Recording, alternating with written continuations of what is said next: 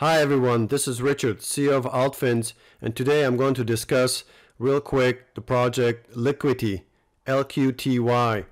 The reason I'm going to discuss it is because it is up huge today, about 60% uh, due to Binance listing, and it's also a project that we had published research on back in November of last year, where we highlighted as one of the uh, very promising DeFi lending and borrowing platforms. And that was when the price in November of last year was way lower, um, around 70, 70 cents or so. And uh, it's up about 320% now following today's move on Binance listing. So we have unlocked the research on our platform for this particular project. You can find the research under the Research Hub. Um, and so, uh, although normally these research reports are available only to our subscribers and hodlers, we have unlocked this research report for all the registered users. So I suggest you check it out and uh, also consider unlocking the other research reports that we have published since then, as there are some really interesting projects. Um, by the way, this is the second project that has gotten listed on Binance this month um, and is also up about two or three fold. And that's kind of the bread and butter for a lot of our research reports that um, we cover. Um, oftentimes, relatively unknown but uh, up and coming projects that have already established themselves in terms of the product and user base and revenues, but um, are not on everyone's radar yet. And just real quick, what is Liquity? Liquity is a decentralized borrowing protocol or platform, and it's similar to Maker or Aave or and Compound. Um, so it's completely decentralized. There's no counterparty risk. It launched in uh, 2021, in April of 2021, and was funded by some well-known VCs, including Pantera Capital, as well as as well as uh, Polychain. what uh, Liquity does, it, uh, it allows traders and investors to basically deposit their cryptocurrency, specifically in this case, Ethereum, and use that as a collateral to borrow money against that. So why would someone use Liquity? It, it has two use cases. Basically, someone who owns Ethereum and loves it, doesn't want to sell it, but needs to borrow money and needs money for whatever reason. So instead of selling Ethereum, they borrow borrow against their Ethereum position. So they deposit Ethereum on, on Liquity protocol and then borrow, um, you know, almost 100% of that they can borrow actually. Um, our second use case is someone who also owns Ethereum, is very bullish on Ethereum or some other um, on or some other cryptocurrency, and so they can again deposit their Ethereum instead of selling it because they want to continue to own Ethereum. They deposit Ethereum and then again borrow money against that, uh, use Ethereum as a collateral essentially, and, and take out a loan on that Ethereum position and buy more Ethereum or some other cryptocurrency. So basically, they are getting access to leverage. So Liquity has its own native token, LQTY, and that is the price of that is up uh, pretty big today in the last few months, as I indicated.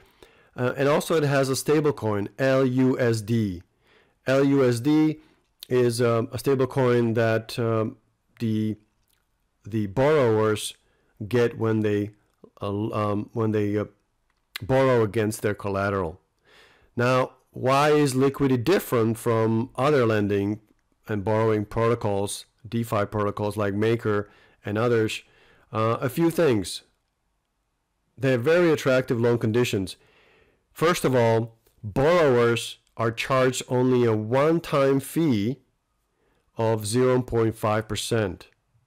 So normally when you borrow money from a bank or other DeFi or CeFi platforms, you pay interest rates, and those are recurring interest rates, annual interest rates. For example, you know Maker and other DeFi lending protocols typically charge three or four percent per year or or more, while Liquity only charges 0.5 percent typically, and only one time, basically from the money that you borrow.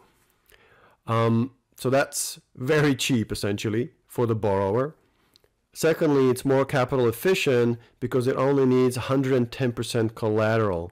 So the borrower is able to leverage um, their position, their ETH, ETH deposit far more than some of the other popular lending protocols like MakerDAO and others who often require over collateralization of above 150%. Now, in terms of tokenomics, uh, Liquity token holders get to keep all the fees that the platform uh, charges. Let's take a look. You can find that data um, both on our crypto screener.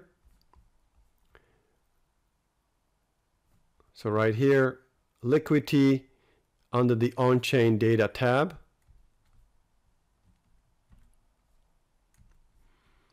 And as you can see, there's total revenue in the green bars. There was a big increase in total revenue sometime in January. Uh, but overall, we can see the trends here. Right? Really, in the last seven days, total revenue is down 55%.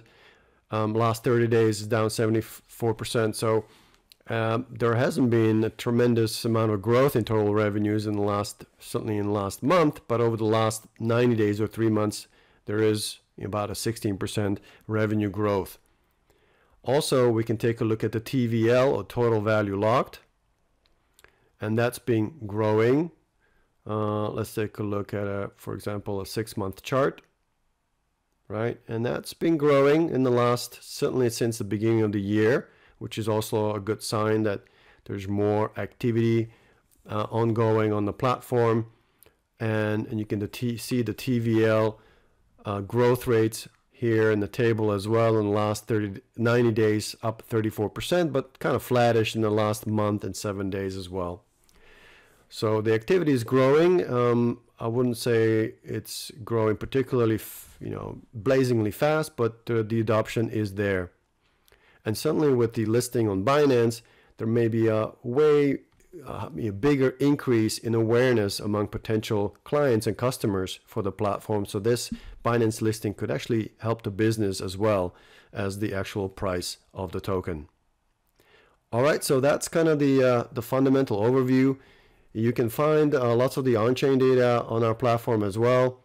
Uh, if you want to look at other sort of DeFi platforms and what kind of revenues they generate, what kind of TVL trends they have, here you can actually compare them to some other projects. So if I remove the existing ones here,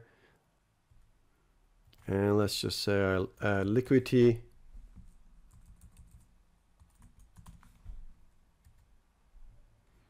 right? So we can see how the total revenue is trending. We can look at the TVL, clearly growing since the beginning of the year. I can compare it to some other projects like MakerDAO that I mentioned as a potential competitor as well, and so on. We hope this helps you. Please do take advantage of this research report that we have just unlocked for registered users. And if you have any questions or feedback, please email us at invest at altfins.com.